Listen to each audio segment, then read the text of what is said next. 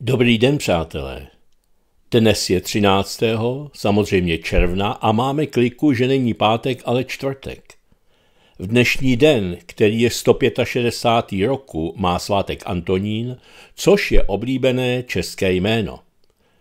Přestože v dnešní době může působit mírně zastaralé, právě jeho historie sahající až do dob starého Říma mu dává punt z kvality.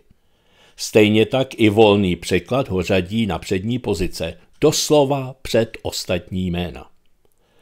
Antonín má svůj ženský protějšek v podobě jména Antonie, případně Antonína či Antonina.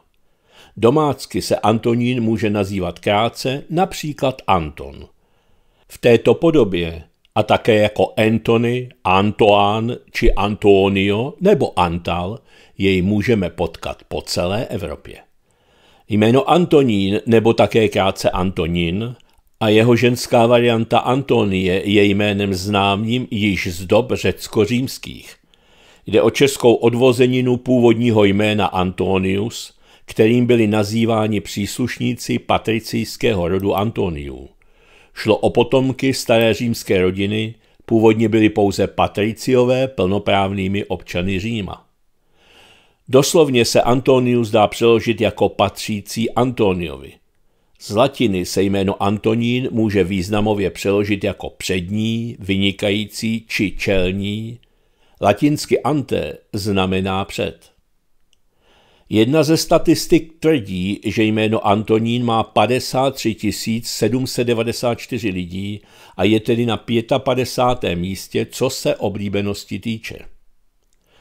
Dalšími, kteří dnes slaví své jmeniny, jsou Antal, Ezra, Genadej a Tobiáš. Tak všem vše nejlepší.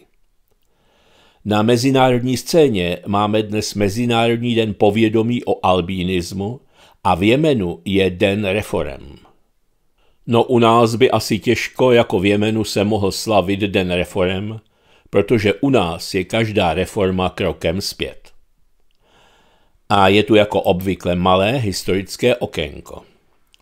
13. června 1381 během anglického rolnického povstání vtrhli rolničtí povstalci vedení Vatem Tylerem do Londýna.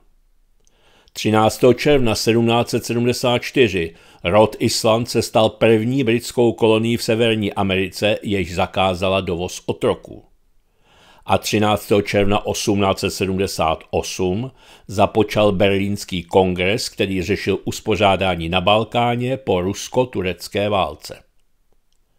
13. června 1897 společnost Elektrická dráha Smíchov Košíře zahájila provoz elektrické tramvaje. A 13. června 1919 Československé jednotky zvítězily v bitvě o Zvolen v maďarsko-československé válce. 13. června 1936 zastupitelé města Brna předali při první oficiální prezidentské návštěvě Moravské metropole nově zvolenému prezidentu Edvardu Benešovi titul čestného občana města Brna. Jmenovali jej čestným občanem dne 10. června.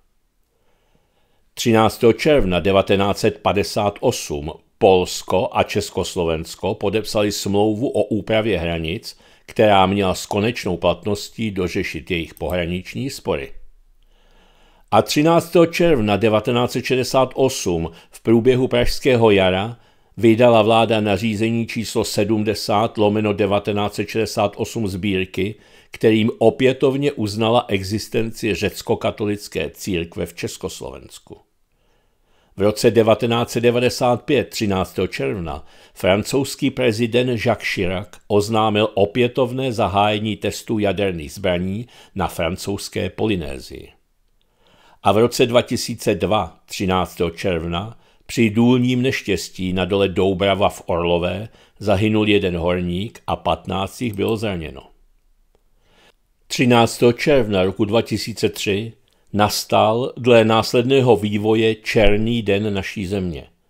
Jedná se o první den referenda o vstupu České republiky do Evropské unie. A 13. června roku 2013 Útvar proti organizovanému zločinu zatýká v nejvyšších patrech české politiky.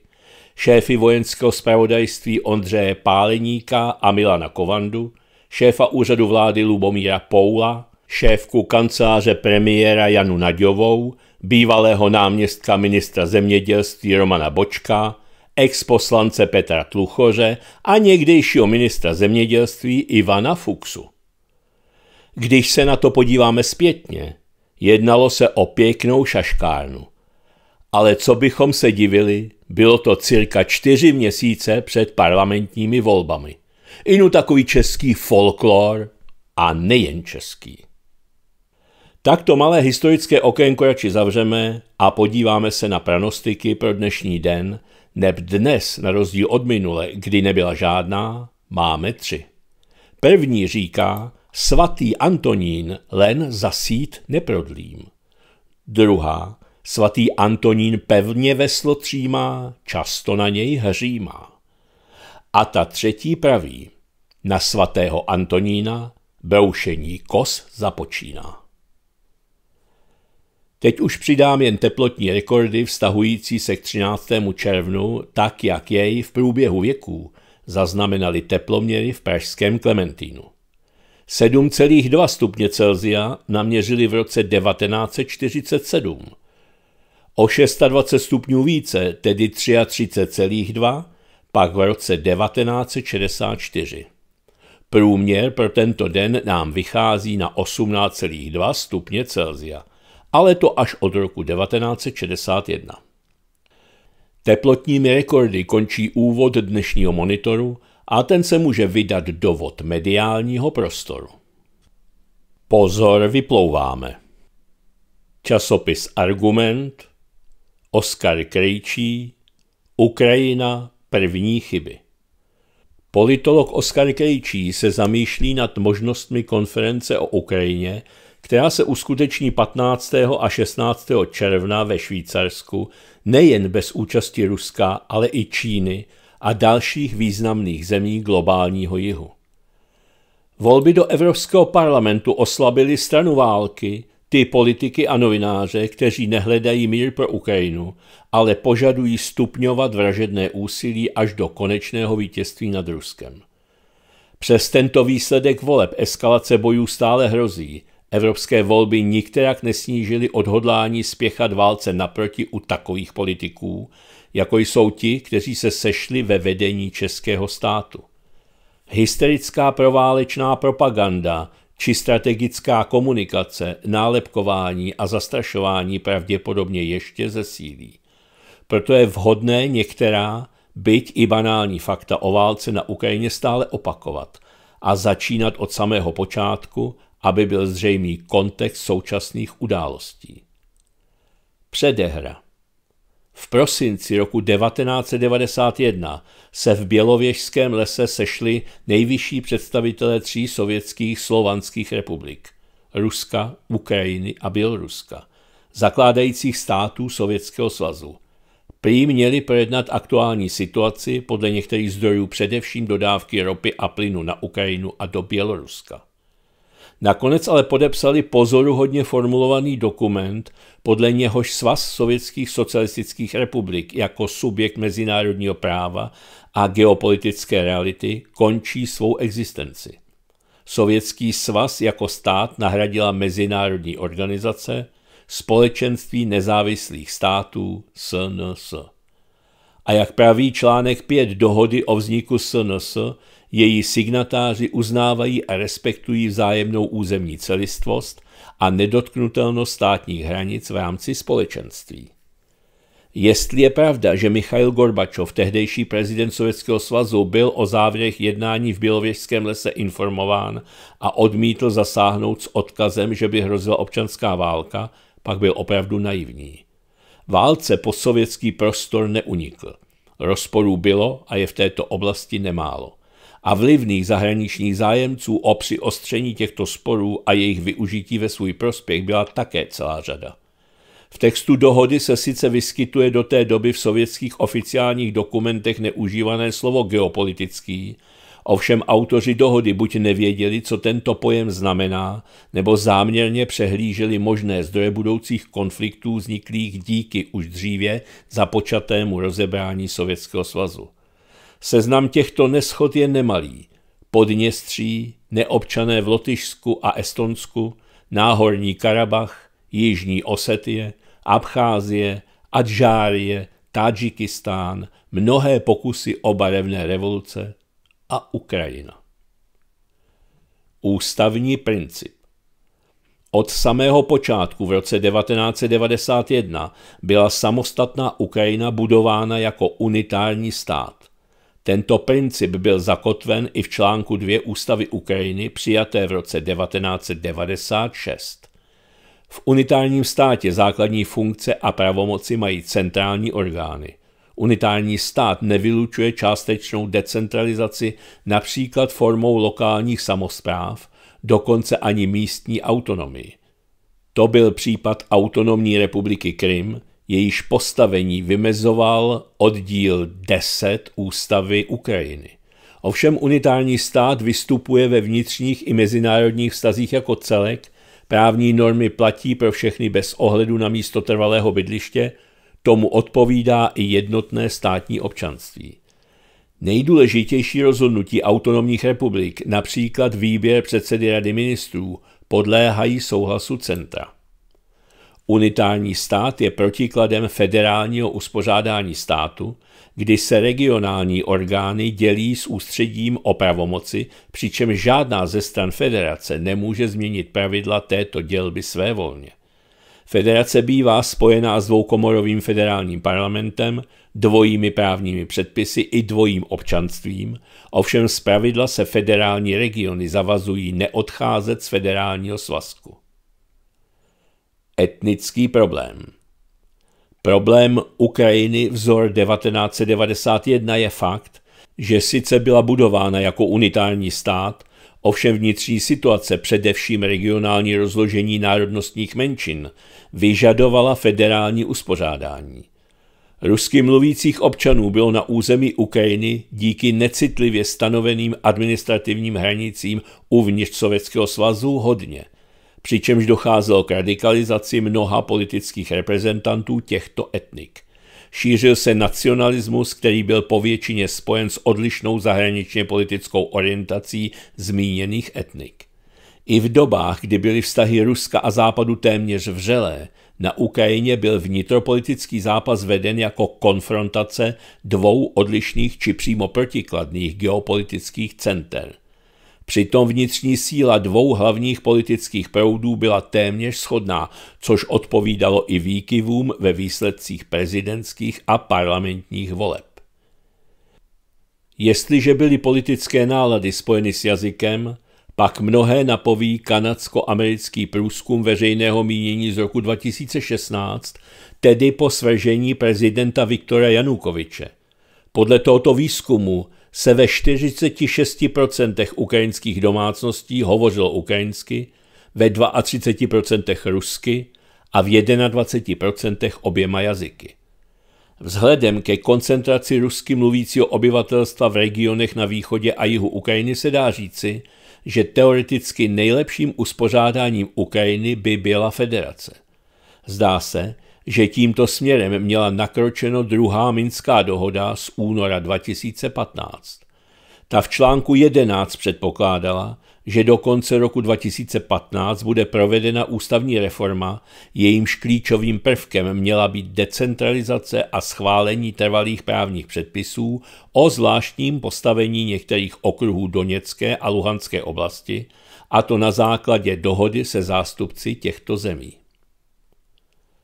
Ukrajinská federace k naplnění druhé Minské dohody nikdy nedošlo, přestože se stala součástí rezoluce Rady bezpečnosti 2202 z roku 2015.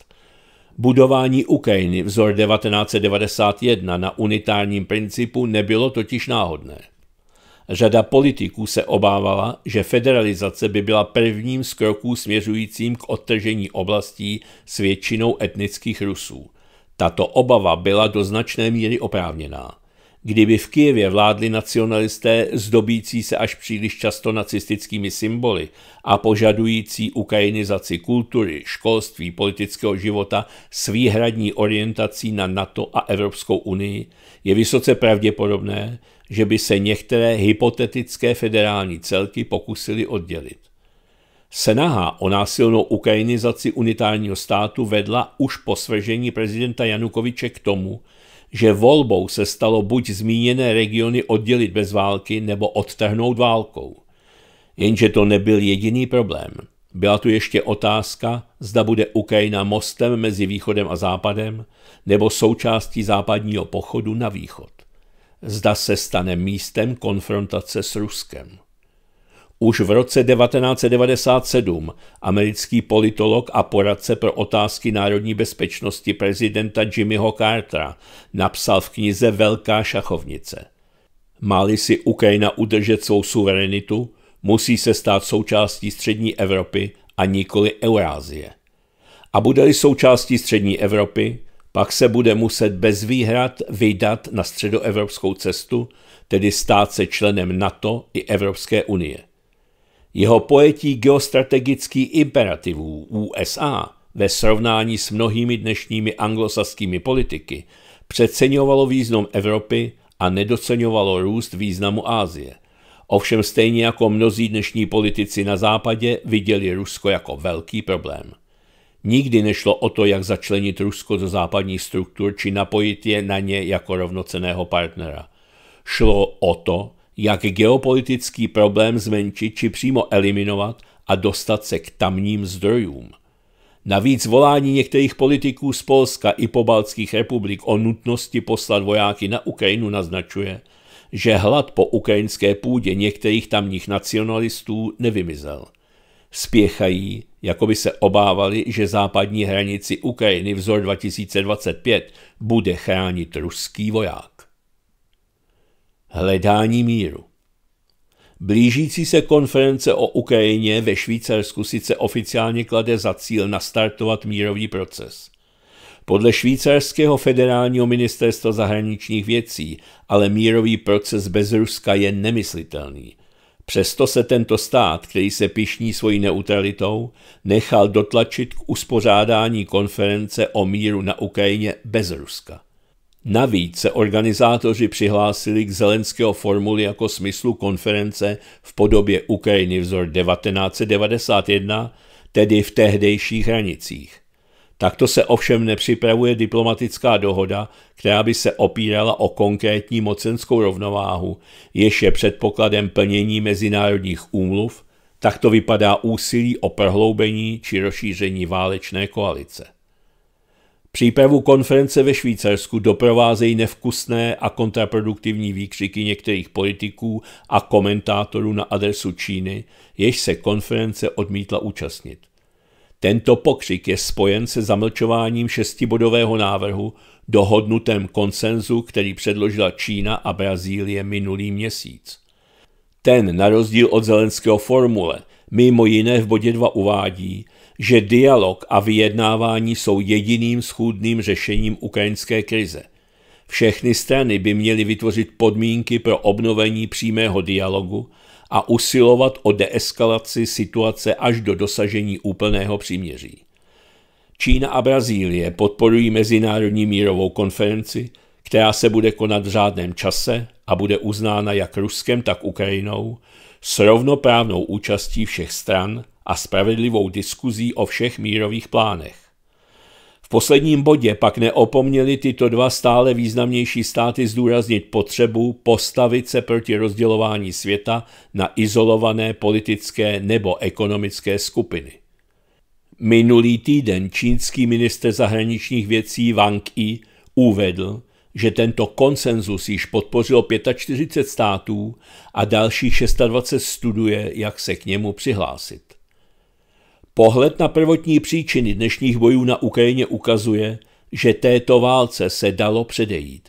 Stačilo jen více přemýšlet v souladu s humanistickými hodnotami a nepodléhat sobeckým předsudkům. To v první řadě platí o těch západních politicích, kteří v duchu geopolitických spekulací viděli Ukrajinu jen jako terén pro konfrontaci s Ruskem. I teď státníci jako německý minister obrany svolávají bojovníky k přípravě na válku s Ruskem. Ten dokonce zná datum dokončení těchto příprav. Rok 2029. To již bude Německo mít ve výzbroji jaderné zbraně. Už zase, jako tolikrát v dějinách, se Evropa chystá na válku, jejíž příčiny bude další generace chápat jako absurdní. Následně se podíváme do necenzurované pravdy, která nám řekne, že je to potvrzeno.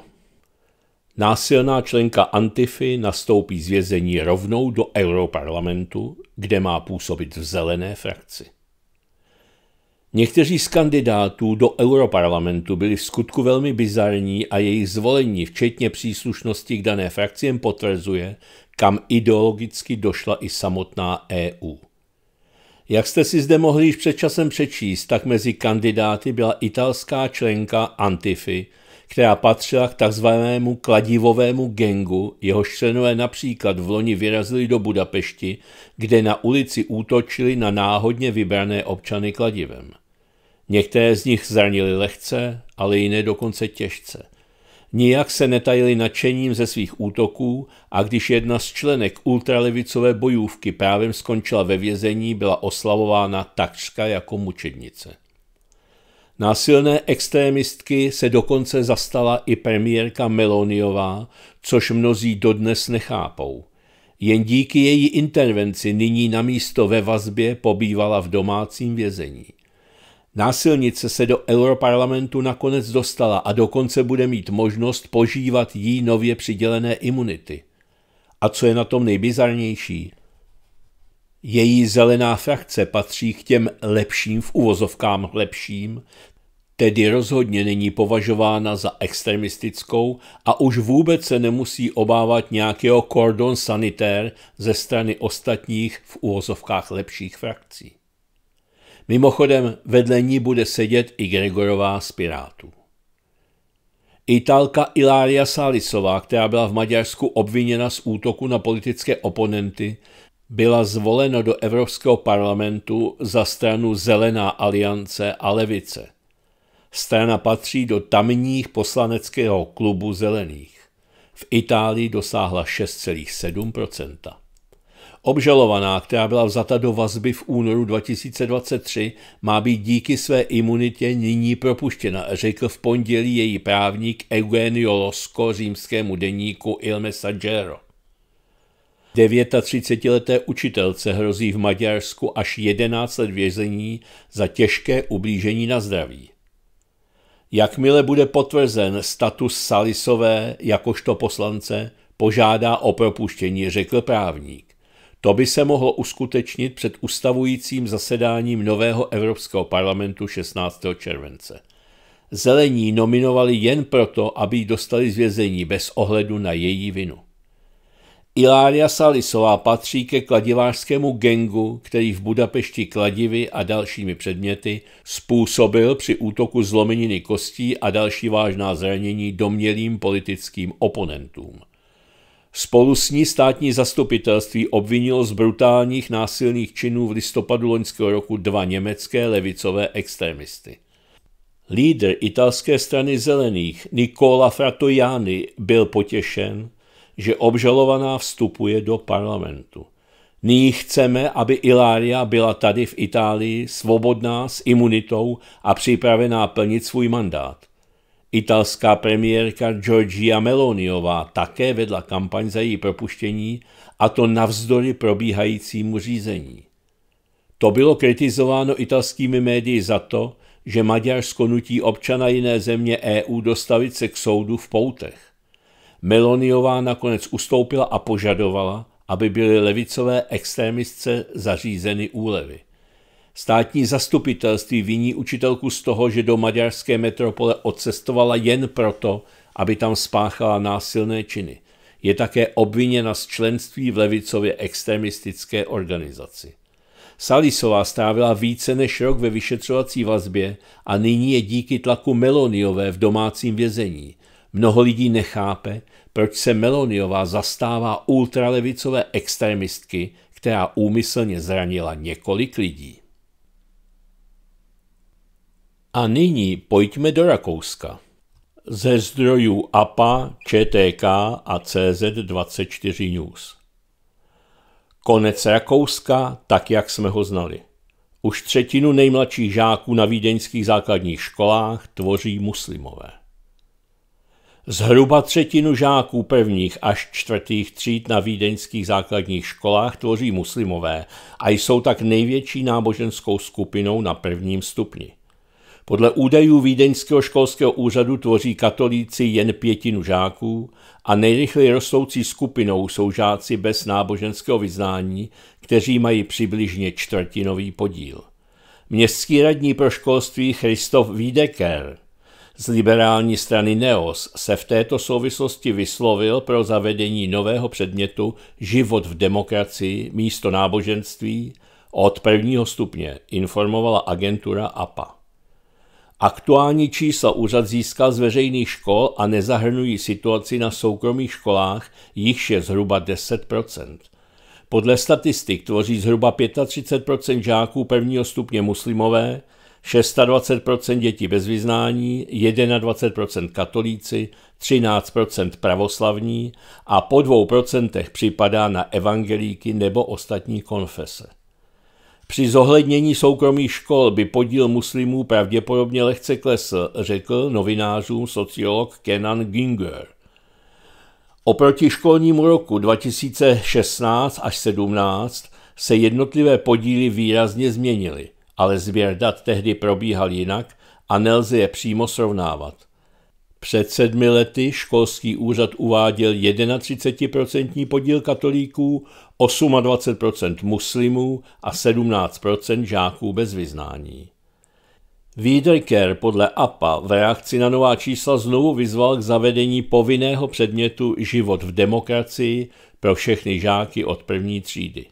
Žáci se v něm mají učit o demokracii, hodnotách a etice a také o všech uznaných náboženstvích. Samostatný předmět náboženství by byl jen dobrovolný. Wiedeker ale se svými návrhy zatím naráží na odpor.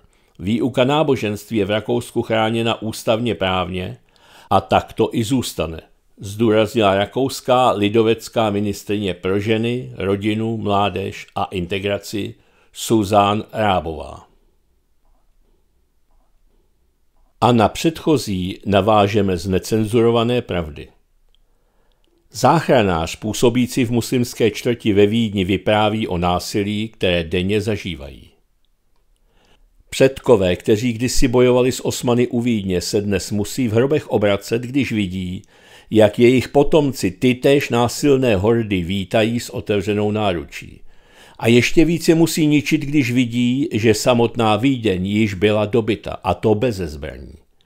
Obětí násilných jedinců z nekompatibilních kultur se nestávají pouze náhodní kolem jdoucí z řad původního obyvatelstva, ale také ti, kteří musí v dobitých lokalitách pracovat.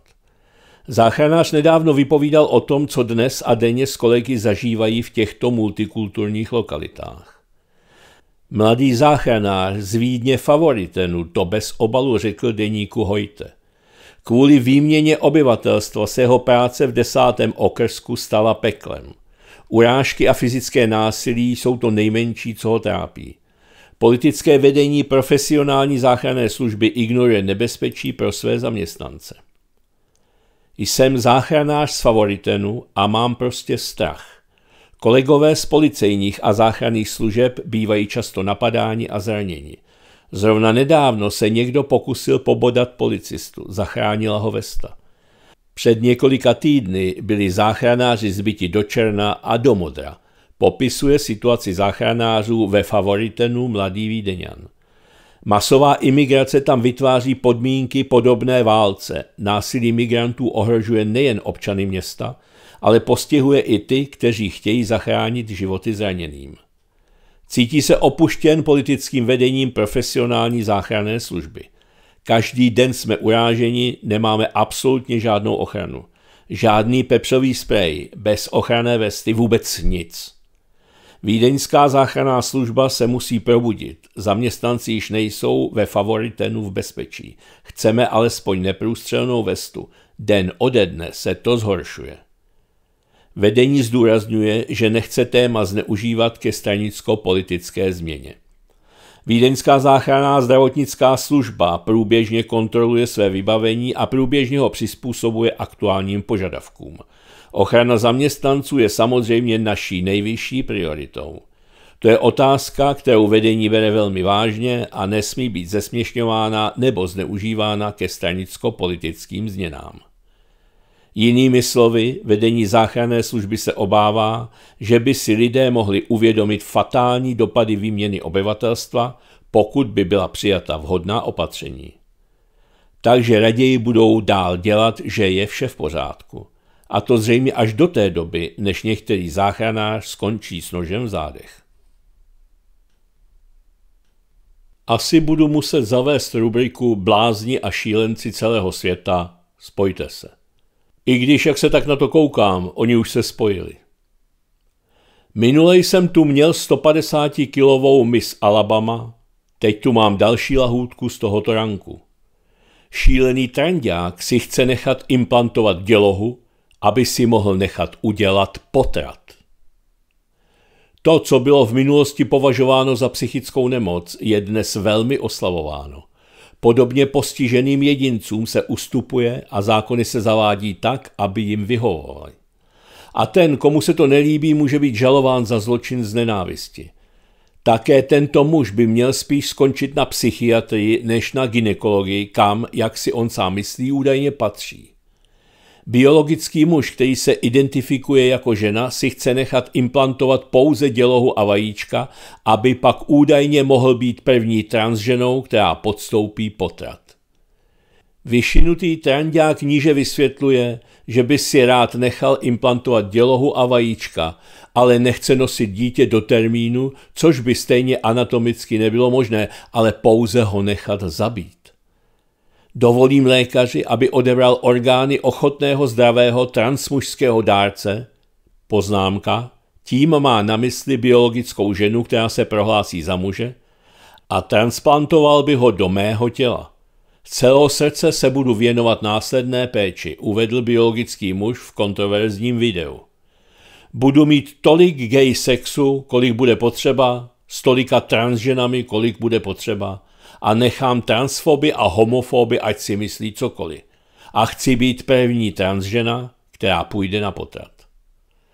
Otázkou je, zda se najde nějaký lékař, který skutečně toto zvrácené přání pomůže splnit. Ovšem v době, kdy je v některých státech celkem běžný i potrat těsně před porodem, je možné všechno. Tak co tu máme dál? V komentáři pro první zprávy senátorka Daniela Kovářová říká, o maličkostech se v Senátu debatuje hodiny, o podstatných věcech minuty. Jeden z Parkinsonových zákonů tvrdí, že nejdéle se debatuje o blbostech, jako je zvýšení platu svačinářky, zatímco důležité a složité věci, války a státní rozpočty procházejí skoro bez povšimnutí. Tenhle zákon pochopitelně platí i v Českém senátě, jak lze ilustrovat na poslední schůzi z minulého týdne, kdy jsme měli na programu více než 20 bodů. Některé body byly nepodstatné prkotiny, třeba redefinice znásilnění, která žádného násilníka neodradí a ani obětem příliš nepomůže, nebo zákon o vodách ukládajících prevenci, jež je už dávno součástí českého práva, anebo úlevy pro ukrajinské lékaře, aby u nás mohli jednodušeji opravovat zuby. O těchto zákonech a drobnostech jim podobných se minulý týden prodebatovala spousta hodin. Za mikrofonem se střídali senátoři ze všech politických stran, kteří všem těm mikronovinám nadšeně provlávali slávu. Z jejich projevů bylo zřejmé, že všechny ty nádherné novely bez změn za chvíli senátem projdou. Pak den poněkud pokročil, na český senát padla tma, řady senátorů prořídly a ti zbylí po deseti hodinách debatování klimbali a pospávali. Teprve po deváté hodině večer přišla na řadu největší změna českého procesního práva za posledních 80 let. Nový zákon o hromadném občanském řízení soudním, lidově zvaný hromadné žaloby. Americké kukaččí vejce našemu právu cizí a nepřirozené a také nebezpečné. To se dá dohromady deset spotřebitelů, kteří se za tučnou odměnu nechají zastoupit speciální spotřebitelskou organizací, jež zažaluje bohatou firmu či mezinárodní korporaci o velké výpalné. Žalovaná například firma Coca-Cola, Nike nebo Mercedes, ale možná také obec, kraj nebo celý stát, radši skupině spotřebitelů zaplatí, než aby byla vláčena českými soudy a její pověst byla pošlapávána v médiích. Hromadné žaloby přinášejí nový proces, nové právo, nové instituty, nový a dosud neznámý svět. A rizika dostatečně známá ze zahraničí. Náklady, které v konečném důsledku zaplatí opět spotřebitel a šikanózní návrhy, co by šikovný nástroj konkurenčního boje. A ejhle, co nastalo hluboké noci v konírně Valčtejnského paláce. S polemikou k hromadným žalobám jsem vystoupila jediná a během několika minut Senát ten obrovský průlom do českého práva jako nepodstatnou drobnost rychle schválil. Typická ukázka českého Parkinsona. O prkotinách diskutujeme mnoho hodin, zatímco zásadní změny projdou bez povšimnutí. Taky se plasticky ukazuje, jak zásadní je pořadí projednávaných bodů. Kdo sestavuje program, ten ovlivňuje rozhodování skoro víc než jednotliví členové parlamentu. Ráno jsou totiž všichni ústavní činitelé odpočinutí a nažhavení diskutovat. Po obědě jsou sklidněni jídlem a patřičně zpomaleni a po deváté večer už mnozí odpadávají a chystají se na odchod domů. Na projednávání nejdůležitějších bodů tak zařazením nakonec zůstane mnohem méně času než na body, které jsou zařazeny na začátku. Ať žije profesor Parkinson a britský seriál jistě, pane ministře – Smějeme se vtipným replikám Sira Humphrey Applebyho a přitom zapomínáme, že to na schůzích po celém světě funguje stejně. Čest výjimkám, pokud existují. Za svůj profesní život jsem je však bohužel nezažila. Chce se mi říci slovy klasika. Má pravdu předsedkyně. Tenhle Parkinsonův zákon, o kterém psala senátorka Kovářová, je stará stranická pravda mnoha sjezdy ověřená. Zkuste se zúčastnit například domovní schůze vlastníků bytových jednotek. O tom, jestli koule na světlo na chodbě bude čirá nebo opálová, se většinou diskutuje hodinu. O schválení částky na rekonstrukci střechy za 2,5 milionu sotva pět minut. No a nyní na řadu přichází parlamentní listy. Protizákonná pomoc Ukrajině. Slovenský skandál doléhá na Černochovou. Na Slovensku se bude řešit postup bývalého ministra obrany Jaroslava Nadě. Ten prosadil předání 13 stíhaček Ukrajině, přičemž podle nových zjištění argumentoval falešnou analýzou ministerských úředníků, která nikdy neexistovala. Věc se dotýká i české ministrině obrany, které pan Nať, který po ztrátě poslaneckého mandátu odešel do České republiky, dělá poradce. Jaroslav Nať nastoupil v roce 2020 s vládou Igora Matoviče na ministerstvo obrany. Tam v minulosti působil jako úředník, do politiky přišel dva roky předtím z neziskové organizace Globsek. Ministrem obrany zůstal po téměř celé volební období v kabinetech Matoviče a Eduarda Hegera. Původně sliboval, že na úřad přinese transparentnost a boj s korupcí. Veřejnost ale zaujal zejména svou ostrou a arrogantní komunikací směrem k politickým odpůrcům, slavnou se stala jeho vulgární komunikace s občany na sociálních sítích. Spíše posměch ale vyvolala jeho odhalení třeba v rozhovoru pro Respekt, Rusové u nás zkoušejí inovativní prvky, vysílají i pohledné ženy. Nať proti tlaku opozice prosadil například vojenskou dohodu se Spojenými státy a hájil americké vojáky i po incidentu ve zvolenu. Jeho úřadování popsal pro parlamentní listy slovenský politolog Ján Baránek. Během působení na ministerstvu fakticky učinil slovenskou armádu boje neschopnou. V roce 2023 Matovičovu stranu opustil. Společně s premiérem Hegerem vstoupil do strany Spolu, která se následně přejmenovala na Modrou koalici a poté si přeregistrovala název na Demokrati. Nať se stal místopředsedou a kandidoval v loňských volbách. Během volební kampaně 2023 zveřejnil informaci, že opoziční strana Smer dostala na volební kampaň peníze z Ruska. Zaštiťoval se informacemi, které získal jako minister obrany. Informace se nikdy nepotvrdila, ale v předvolebním čase byla intenzivně šířena na českých sociálních sítích, třeba z účtu skupiny Dárek pro Putina. Senátorka ODS Miroslava Němcová k tomu tehdy připsala. Rusko se sune přes Maďarsko a Slovensko i k nám. Asi proto byl Babiš u Orbána. Proto ano, středula a ke zradě vždy připravení komunisté eskalují napětí a chtějí svrhnout naši vládu. Zatímco Česko v květnu 2023 řešilo tuto bizarní internetovou kauzu, ministru Nadějovi bylo v Bratislavě docela horko.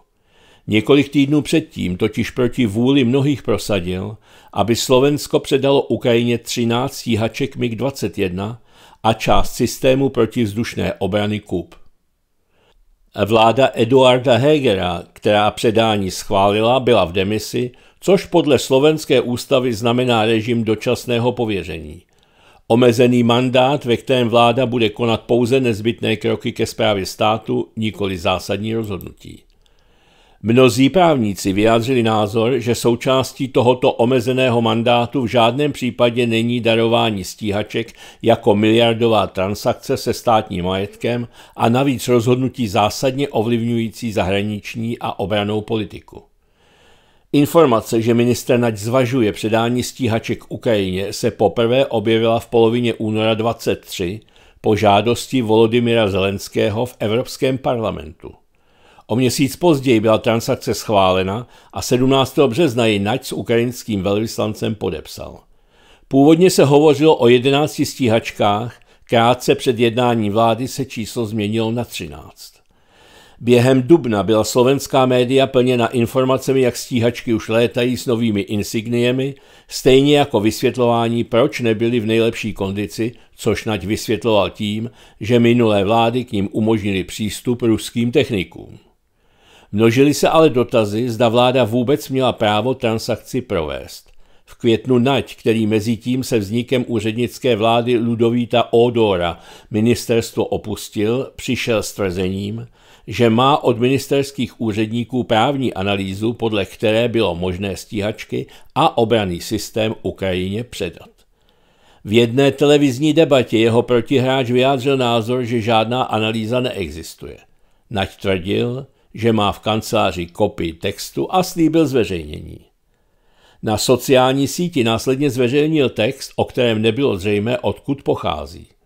Text analýzy a informace o jejím vzniku si poté na ministerstvu obrany vyžádal podle zákona o svobodném přístupu k informacím slovenský ombudsman Robert Dobrovodský. Nyní přišla odpověď, že ministerstvo žádnou takovou analýzu nenašlo ani není v žádné podobě zachycena v elektronických databázích. Státní tajemník ministerstva obrany Igor Melichar následně uvedl, že stíhačky MiG-29 byly Ukrajině předány protiprávně. Ministerstvo podle něj připravuje proti Jaroslavu Naďovi právní kroky.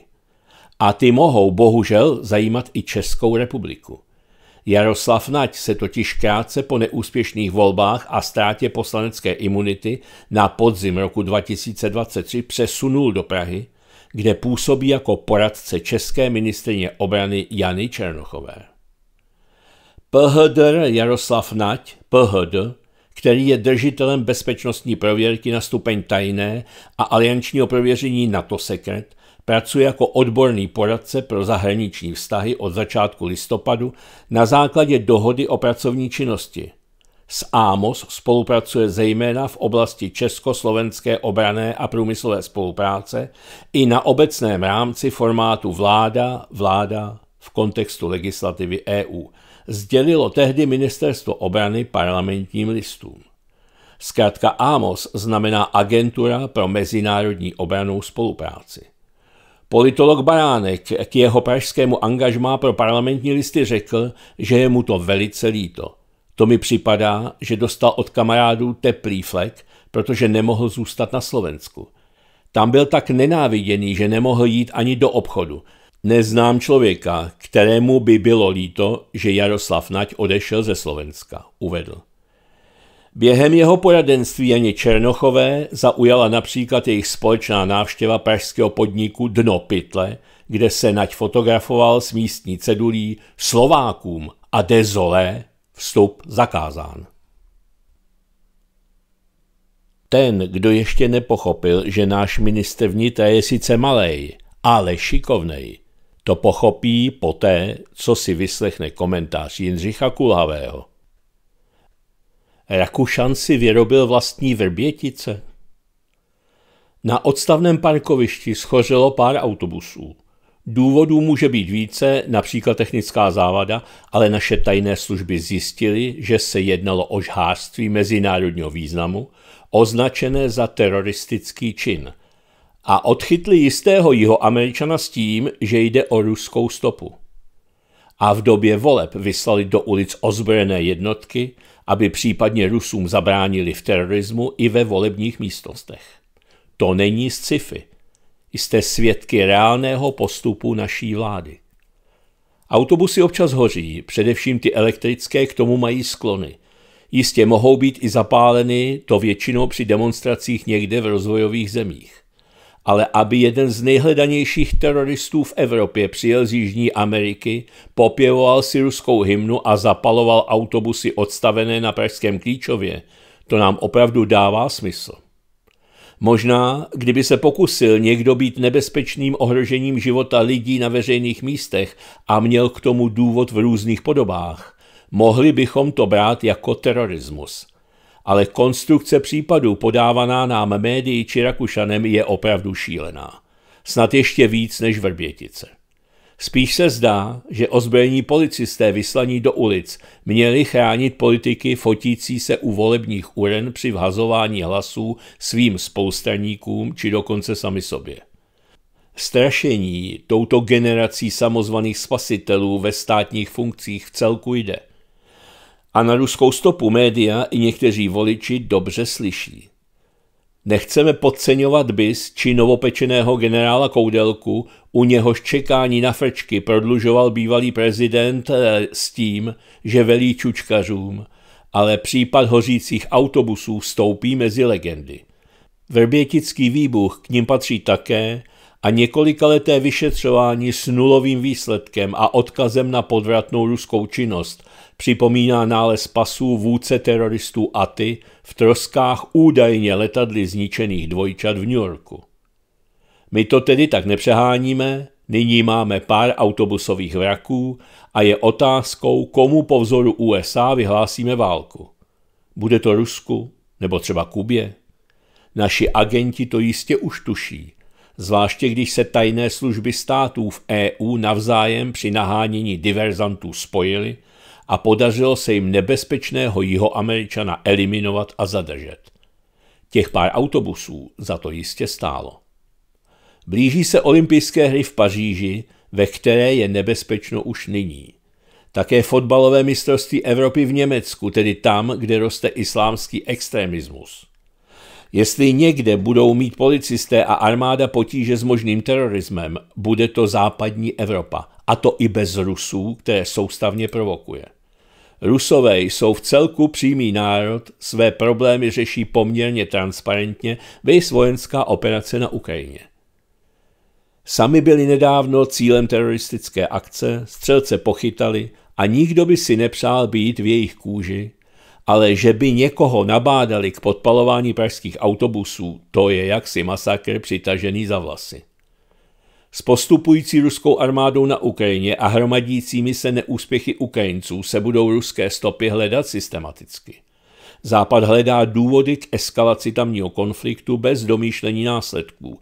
Ne, nám nehrozí ruští agenti převlečení za jeho američany mající sirky v ruce poblíž nádrží autobusů. My se musíme bát úplně něčeho jiného. zvláště bude-li naše vláda nadále agresivně vystupovat vůči Moskvě. Chtějí nás zatáhnout do války, mobilizovat české kluky a muže a posílat je na smrt. V západní Evropě si teroristy dováží skoro až systematicky, my si je zatím spíše vymýšlíme. Doufejme, že to z autobusů nepřejde někam, kde by umírali lidé. Politici jsou schopni úplně všeho. Jako předposlední tu máme komentář Stanislava Blahy z e-republiky. Titulek Vítězové českých eurovoleb Izrael, Ukrajina, NATO, Green Deal, cenzura. A podtitulek Volby do Evropského parlamentu vyhrála válečná strana, takže my občané v žádném případě nevyhrajeme. V neděli byly zveřejněny výsledky voleb do Evropského parlamentu a na sociálních sítích nastalo zděšení. Tak jsme se dozvěděli, že prakticky nastal konec světa, vládní koalice oslabila, do Evropského parlamentu se vrátili čeští komunisté a pronikly do něj různé další antisystémové, čti podezřelé a nežádoucí živly.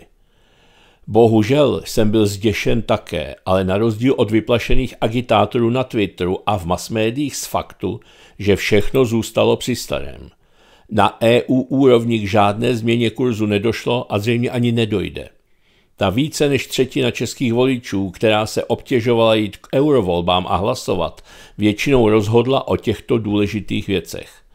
17 z 21 europoslanců bude bezvýhradně podporovat Izrael v jeho totální válce proti palestincům. 16 z 21 europoslanců bude pro pokračování války na Ukrajině až do trpkého konce. 16 z 21 europoslanců bude podporovat NATO a zřízení jeho základen u nás. 16 z 21 europoslanců bude pro pokračování politiku Green Dealu ničící evropskou ekonomiku. 15 z 21 europoslanců se nepostaví proti rostoucí cenzuře a omezování lidských práv v EU. 13 z 21 europoslanců bude podporovat přijetí eura. 12 z 21 europoslanců bude hlasovat pro novou liberální Evropskou komisi. Jistě, že se můžeme dočkat nějakých překvapení, ale toto je bohužel obecná linie. Z tohoto pohledu, ač to vypadá, že volby dramaticky změnily situaci, se vlastně žádná velká změna nekoná. Poměr euroskeptiků a eurohujerů v české delegaci v podstatě se nezměnil a Ursula von der Leyenová si může brousit zuby na své druhé funkční období. Jediné, co by opravdu mohlo změnit směřování EU, jsou předčasné parlamentní volby v zemích, kde eurohujeři utrpěli drtivou porážku. Ve Francii již byly vyhlášeny, ale zde je ústavně dán prezidentský režim, takže Macron může zemi řídit dál v zájmu Rothschildů a spol. V Německu se po parlamentních volbách volá, ale koalice má jeden rok na další destrukci státu. Scholz by se měl pochlapit a pustit kormidlo, protože všichni v Německu ví, že ve skutečnosti přestal tento Titanic řídit. Abych však nebyl příliš pesimistický, lavina se dala do pohybu – bude to ještě chvíli trvat, než nabere rychlost, ale pak se před ničím nezastaví. A nakonec tu mám pro vás pár střípků z eurovoleb, které jsem pozbíral po cestě naším internetem. V neděli vyhlásili výsledky voleb a hned na to se objevily různé reakce. Tak si některou z nich připomeňme. Třeba takovou Michailu Šojdrovou – téhle lidovecké chudince z dnes už marginální strany, která se schovává v podolku ODSáků, unikl ten bruselský kšeft o fous. Přesněji o 663 fousů, které jí chyběly k přeskočení hrdiny, jak by řekli ruští špioni Čuk a Gek Geroje v bourání pomníků, synka významného přítele po boku koláře, který je spodobné a podobně jako ti lidovci postavené topky ale zpět k té míše. Ta, než si šla někam zaplakat, hrdině prohlásila, aspoň si můžu chvíli odpočinout, řekla ta dobrá žena, která konečně po 30 letech vypadla z vrcholných pater politiky. Ale to její vypadnutí bude mít pozitivní důsledek. konečně bude mít díky důchodu z Brusele čas a prostředky, aby se mohla začít starat o ty ubohé, fousaté africko-blízkovýchodní sirotky bez doprovodu, kteří tak dojímali už v roce 2019. A pojďme dál. V úterý proběhlo jednání výkonné rady ODS, na němž mělo vedení strany zvážit vyloučení starosty pražských řepory Pavla Novotného a probrat výsledky evropských voleb. Výkonné radě ODS jsem se rozhodl vyloučení Pavla Novotného ze strany nenavrhnout. Musíme umět odpouštět, řekl Marek Benda a s hlasováním o vyhazovu Novotného nesouhlasila například Alexandra Udženia. Podle ní má ODS závažnější problémy, třeba určitou sebereflexi po proběhlých volbách. Co pak to, co pak to? Sebereflexe po proběhlých volbách? Jak je to možné? Vždyť v neděli všichni výskali nadšením a profesor si pochvaloval, jak dosáhli cíle že by přišly nějaké signály, že mají méně křesel a že jim po zádech do Brusele vylezly ještě větší šmejdi, než jsou oni sami. Třeba takový Niedermayer nebo Zdechovský. A jen tak závěrem. Marek Benda nemá co komu odpouštět. Odpouštět může jen poškozený. Nějak si ten plzeňský doktor práv plete pojmy, takže v podstatě říká, že odpouští dlužníkovi dluh, který má vůči někomu jinému. Skvělé. Něco podobného jako známá definice progresivního liberála. To je člověk, který rád položí váš život za svoje hodnoty. A do třetice tu mám nejpreferovanější a tudíž nejzářivější hvězdu do eurovoleb Kláru Dostálovou, před níž i luna bledne. Pouho pouhých pár hodin po vyhlášení výsledků mi tak nějak připomněla skvělé herečky z našich špičkových divadel ve scénách náhlých přechodů ze smíchu do pláče či citlivého vystupování v mžiku změněnému na záchvat vsteku.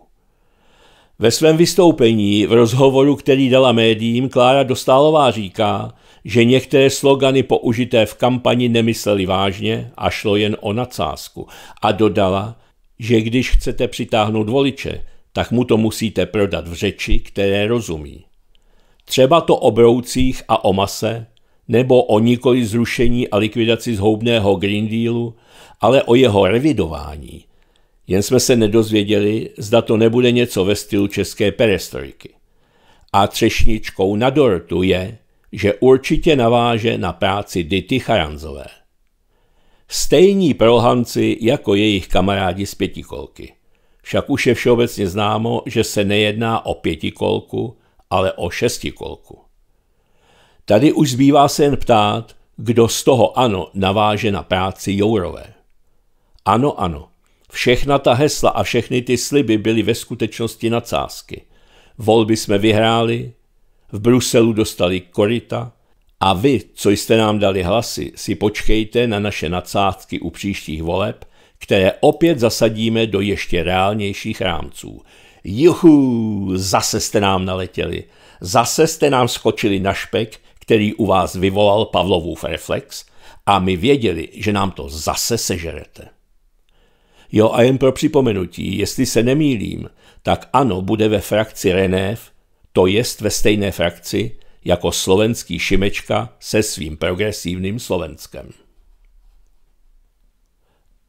Ať chceme nebo nechceme, jsme dnes na konci nám vyhrazené hodiny, takže teď už se od mikrofonu monitoru studia Kalich Svobodného rádia loučí a na setkání v pondělí, ovšem dáli Bůh a cenzor, se těší Ivan Votava. Naschledanou.